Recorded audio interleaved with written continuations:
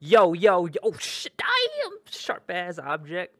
Okay, guys, I'm oh oh oh oh sh oh damn. Y'all see that? A thousand thirty super dust. You already know. Uh. Oh yeah. By the way, this guy will also cover how to get 2,052 of these fire seeds. Okay. On top of that, on top of that, we get some Milky Milks. You know what I mean? Not not something crazy, but it's for free, so why not? And those fire seeds can transition to Radiant, which is over here. Now, it says I have only 64, but the truth is, that is because I have 2052 plus 64. So for some reason, for some odd reason, the machine doesn't pick up the other 2000. But that's in another matter. We don't need Radiant right now. So we're going to ignore that. But anyways, all right. If you want to get to this, if you if you want to get to damn. If you want to get to this point, oh, also, if you want to get to this point within just 2 or 3 days of hard work, I'll tell you how.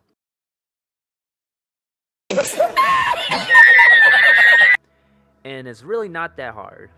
The requirements are not that much. Um, I would start off with at least level 30 equipment. Hopefully you're at least... Oh, let me recenter. Um, hopefully you're at least level in your level 30s. Um, I started this when I was level 40, but it wasn't it wasn't impossible. It was a bit hard. I did die a few times. But like anything you just try out, you're gonna die. that sounded weird, but um, the good part about this method is, even if you are not initially strong, because we're collecting dust, that translates to enchantments, and over time that just makes you stronger and stronger, you know? I did the same activity for two days in a row, put in about four hours each day, and that's kind of how I got here. Oh. And it just feels so good to have so much dust. You get to choose what equipment stats you want to get. Um, if you don't know what an enchantment does yet, I'll leave that in another video, or you guys can search it up online, and it's it's everywhere online. So but if you're a video watcher, you like to get your information on YouTube, you know, I'll try to I'll try to bump those out as soon as I can. Gonna have work in the next two days, but still gonna try to record a little bit. And uh, I think my audio on my speaker is too loud, so I'm gonna turn that down because it might affect my mic audio. I'm gonna do that as soon as I get to the location. Now, I should have been talking, but you could just you can just rewind, see where I went. But I flew over the canyons. All right, I'm gonna hop onto the desk mic now. Um, I didn't. I'm not doing such a great job in guiding you guys during the in-game play, but um, getting to our destination is very simple. Once we hit into the portal, just keep on following the hallways. If you look left and right, there will be some dead ends you know, obviously you're not going to go through those. Just keep on looking for the next entrance leading you further down into the dungeon. Within a minute and a half or two, we're going to hit our destination. Um, the dungeon's not too big, so you can't really get lost. You know, it's a pretty straightforward, straight, turn right, turn left, go go straight down the stairs. You reach your destination. So, yeah. Well, this is the general area where we're, we're gonna head to. You see, there's a lot of mobs here. Boom.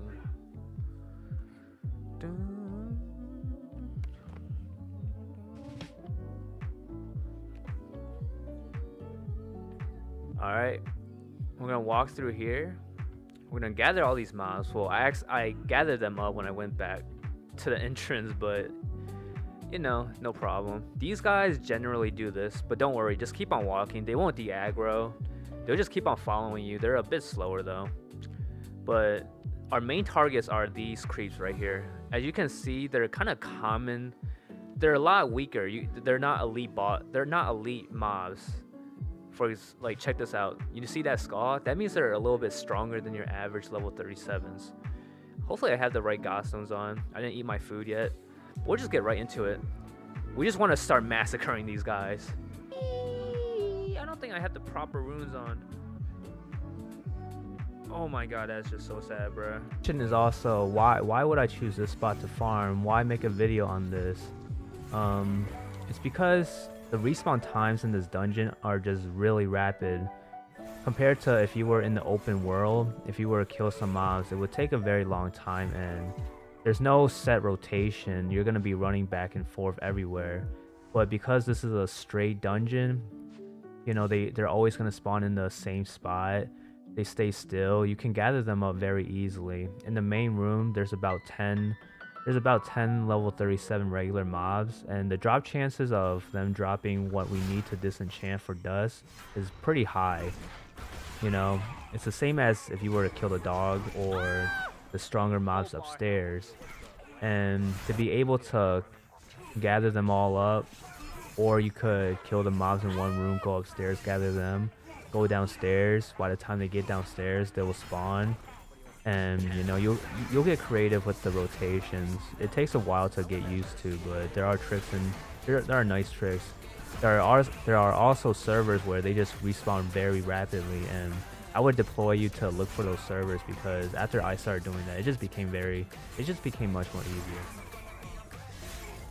This method, I'll guarantee you guys, you'll get so much dust. It's like you're like a vacuum for crying out loud, right? Um, it's gonna put in, you know, like any MMO, if you want to get the reward, you gotta grind for it. You gotta work for it, right? So I don't, you know, you gotta put in some time. But would you rather go around the map collecting a thousand chests in order to get this much? You know, would you would you open 500, 600 chests to get this? That's gonna take you days, right? At least this method will give you a. It'll, within an hour, you'll know you're gonna get around 250 to upwards to 350 regular dust. And if you don't know how to get super enchantment dust, if you don't know how to get mega enchantment dust, I'm gonna put that in another video. I haven't made it yet, but I'm trying to make this day by day, week by week. So my timing is always off right now. I'm still getting, I'm still new to this, so you know, bear with me. But um, yeah, I got some nice plus 10 armors from this. Heck, I'll, I'll tell you guys like I would get plus 10s and then I would disenchant them. Not that it's efficient, but I had so much dust. It made me so confident that I could just get another equipment. But the reason I disenchant certain equipments is because there are special active or passive skills on the armor and it also gives you slight stat boosts. Um, but see how Vampiric Sting... Oh yeah, I might as well go through my farming setup here. Right? I have I, this one just to gain some stamina, increase my critical hits, my my critical hit damage. You know, like I'm a DPS, I'm a DPS blade master. Uh, critical helps me a lot.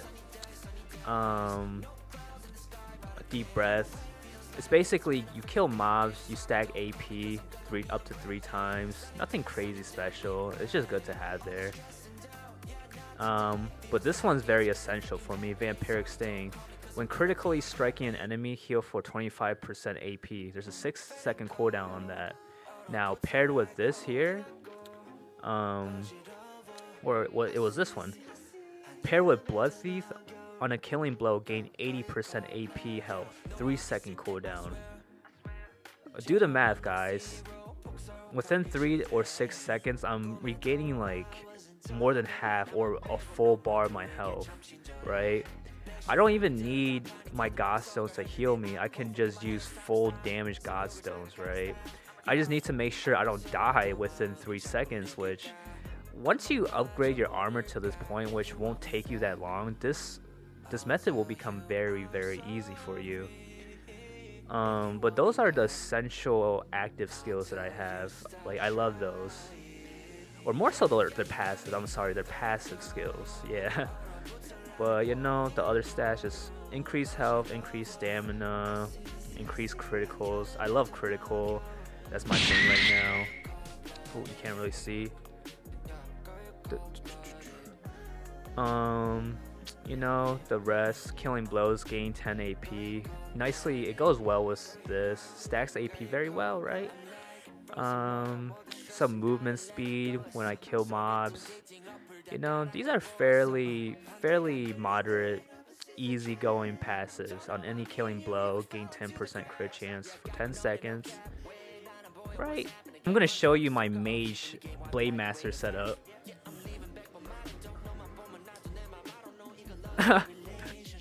so one more detail I want to go through are godstones. Godstones are obviously extremely important. If you haven't known already, you can level up godstones. You'll get points and you can use these points to level level up certain stats within that godstone. And there's one stat that you can invest two points in. And it's, it's just really overpowered. I'm gonna take my Warpro Blades as an example. It's an epic godstone. I was super lucky to pick this up because the main stat that you can get for it is to refund 25 resource when you deal a killing blow to an enemy. And because there's like eight there's there's eight mobs within a little wave.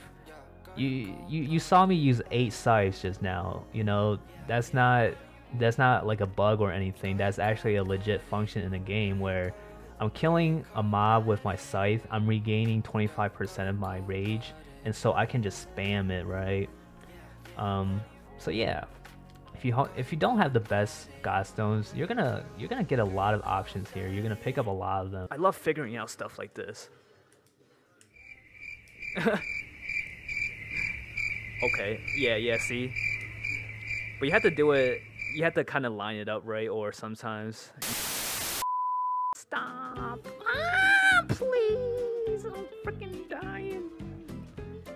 Alright, as I usually do, I'm gonna add in another thing in the video through my desk mic because I just um I just I can't I can't I should maybe like read a script and then memorize each point as I go through but as you can see I can't stick to the freaking guy while I'm actually playing the game but um servers you want to pick a very low populated server, not because you're going to be contesting the mobs against other players.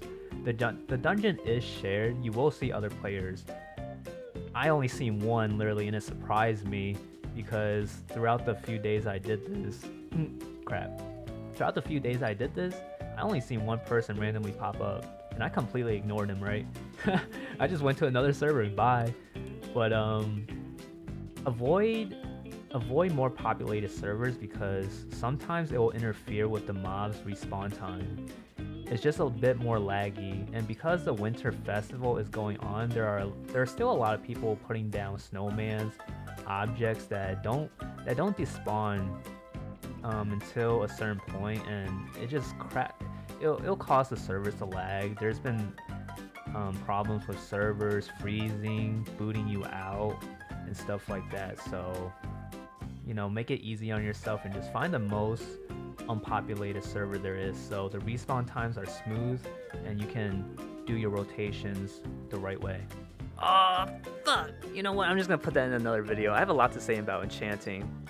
And this is my problem with using a, you know, recording raw audio footage is I just keep on going off. But okay, this video, we're to talk about how I got a thousand dust.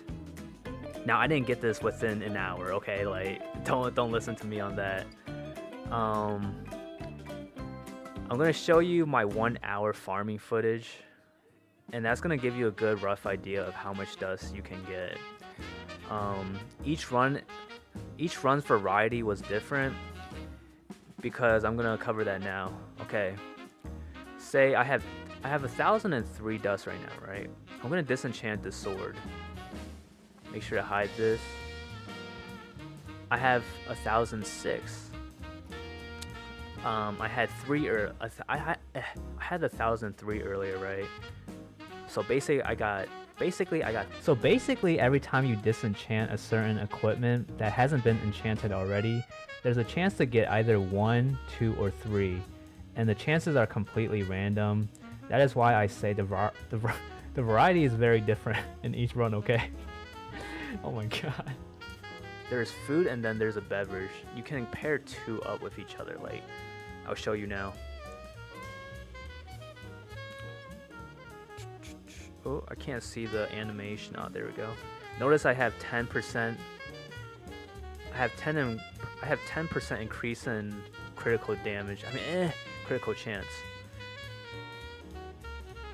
Boop. I have 18 plus critical chance. I'm up to 72 critical chance on my character now, right? Pretty busted. Plus, with some of these passives, I'm hitting I'm hitting 80%. Like it's busted, bruh. On top of that, you got your cookies. Now watch this. It also stacks some insane stats just from the foods. Oh yeah. If you have a pet, don't forget to summon it. Look at this, guys. I got this guy on my fifth, like not not fifth attempt. I'm capping at that point. I think it was my 12th time killing the Winter Festival boss. And I looked in my inventory and I'm like, oh my god, it's a cat. It's a freaking cat. You know what's even more funnier? This is my first pet. I didn't have the butterfly. I didn't have a beetle. I was so excited when I got this guy. Let's get into let's get into it, guys. Let's get let's, let's just get into it. Oh my god. Oh yeah, I'm gonna start. I'm gonna move on to uh, already pre-recorded video I did earlier today. Um, my arms are the reason I said to take a break is because my arms are honestly stretched out. Like they're sore just from swinging that much for hours on end. Um, so yeah, like VR is a game where you have to actually watch your body because if you do some wrong moves or just start swinging a lot, like my arms are sore right now. I have work tomorrow, so I can't do another hour. Let's forward this.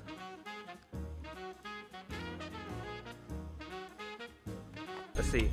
I currently have 1,019 basic enchantments, 145 super enchantments. So let's see how much we can bust down within an hour. And um, you know, this is my setup for Blade Master. DPS, if you guys are a DPS, you know, you could take these. Um, you know, I won't explain it because I already started timer. Let's get into it. Not bad, I'd say. Not freaking bad. Hmm. so I actually got sidetracked from finishing this video due to life, life businesses, but um, here are the breakdowns. 1019 regular dust before, 1280 after. 145 super dust before, 182 after. So in total we yielded 261 regular dust and 37 super dust. So I'll let you guys be the judge whether this method was viable or not. And on my next video, I'm gonna cover armor skills, one set for boss rating, and one set for farming and I, I believe that's just very important to have two sets in this game. Um, especially once you hit late game and have nothing else to do. There are a lot to do in Zenith, and armor skills are just one of them that you want to acquire a good set of. Alright guys, thank you for watching. Peace out.